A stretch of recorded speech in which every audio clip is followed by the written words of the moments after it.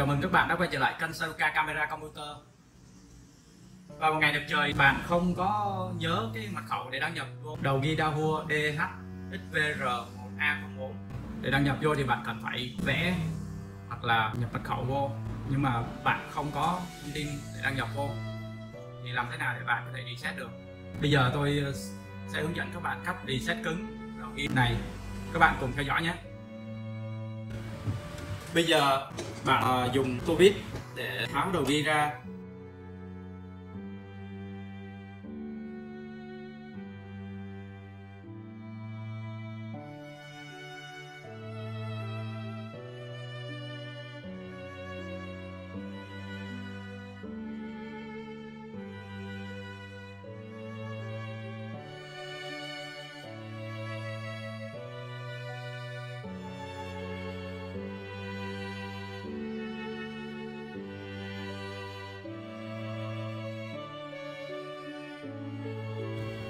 Chỗ ký hiệu G1 à. Các bạn có ký hiệu là G1 đây là đầu ghi đâu có mã là DH XVR1A04 để reset đầu ghi này bạn à, dùng một cái dây điện nhỏ để kích vào hai dắt G11 và 12 để reset mật khẩu đầu ghi để đỡ ảnh hưởng đến độ cứng thì bạn có thể tháo nhắc độ cứng ra để không ảnh hưởng đến cứng như là dữ liệu trên đầu ghi của các bạn nhé.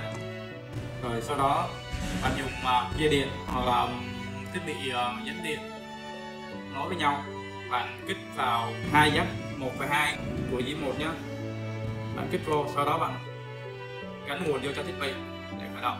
Và bạn uh, giữ trong khoảng 5 giây để uh, reset cái mật khẩu của đầu ghi nhé các bạn. Sau đó bạn tắt nguồn đầu ghi và khởi động lại.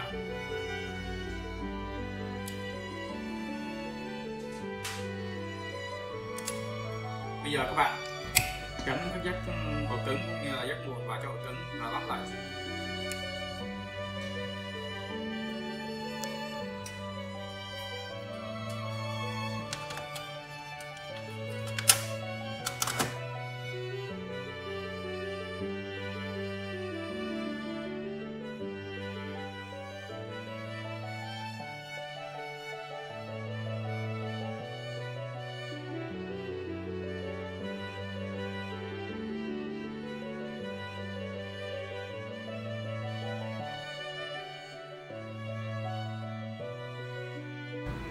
Sau khi bạn đã ờ, reset cứng cái ờ, đầu ghi Dahua, cắm nguồn vô để khởi để ờ, khởi động đầu ghi.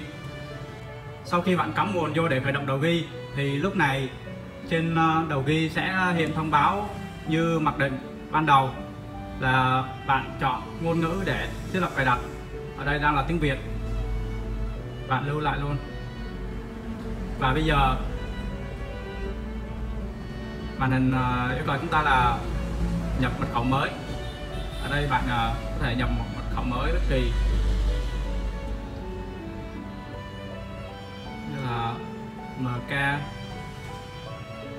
1 2 3 4 4 số 1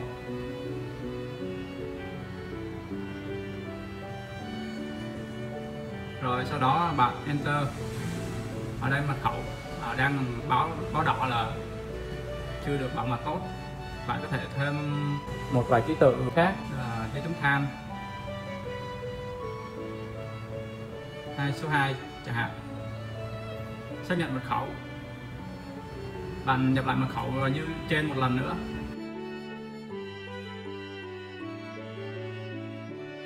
Ở đây là câu hỏi nhanh. Bạn có thể đặt câu hỏi bất kỳ nhé. Rồi sau đó nhấn tiếp theo. Ở giao diện này thì ờ, bạn có thể là vẽ khóa để ờ, mở khi mà màn hình cài đặt hoặc là bạn có thể không vẽ tùy ý. Ở đây bạn vẽ khóa đi.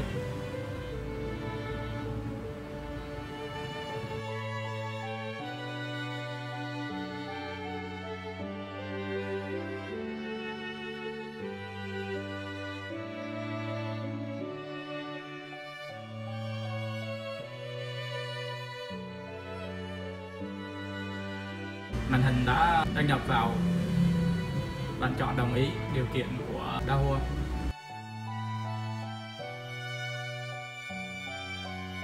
dấu tích này là cho phép tự động kiểm tra bản nâng cấp. Nếu bạn muốn ờ, hệ thống tự động cập nhật kiểm tra thì bạn để mặc định là tự động cập nhật.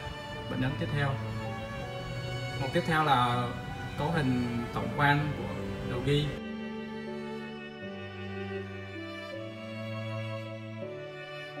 Đúng rồi, thì các bạn nhấn tiếp theo. Ở đây là IP IP của đầu ghi mục này thì các bạn có thể cấu hình sau.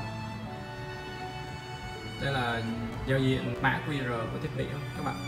Các bạn có thể nhấn ờ, tiếp theo và sau đó các bạn có thể cấu hình sau được. Ờ, đây là cấu hình của cứng. Có ghi đề hay không? Như vậy là các bạn vừa reset cứng đầu ghi Davo xong. Nếu bạn có bất kỳ câu hỏi nào liên quan, vui lòng comment phía dưới video để chia sẻ, mọi người đều biết nhé. Cảm ơn các bạn đã quan tâm theo dõi. Xin chào và hẹn gặp lại các bạn.